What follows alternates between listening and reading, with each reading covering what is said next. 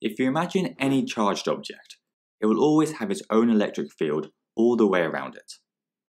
Just like masses have gravitational fields, and magnets have magnetic fields.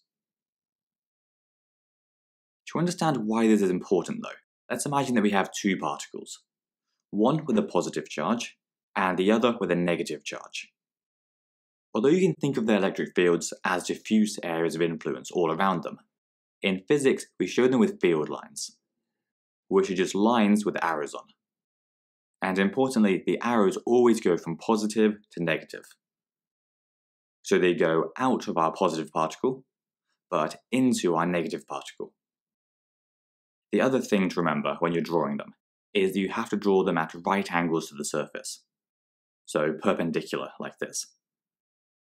And if you're asked to draw them in the exam, make sure you show a fair few. For example, 8, like we have here. Now, the strength of the field is strongest close to the particle, and it gets weaker the further away you get. So as charged particles get closer together, their electric fields will start to interact more and more. If they're oppositely charged, like our particles here are, then there will be an attractive force between them, which we can call an electrostatic force, or in this case, electrostatic attraction. We can actually show this with their field lines by extending the field lines from the positive particle all the way over to the negative particle because remember they always go from the positive to the negative charge.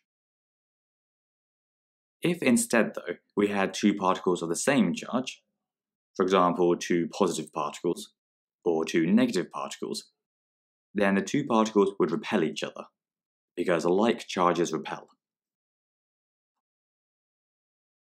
One last thing we need to cover is the strange interaction between electric fields and air.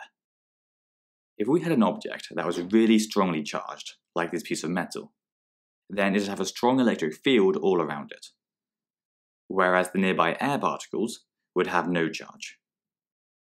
In this state, air is an electrical insulator and can't conduct any electricity. However, in some cases, a strong electric field, like the one around our piece of metal, can cause the surrounding air particles to lose electrons and become positive ions. We call this process ionization. And once air has been ionized like this, it's able to conduct electricity. And this is how sparks are able to travel between objects, traveling straight through the air.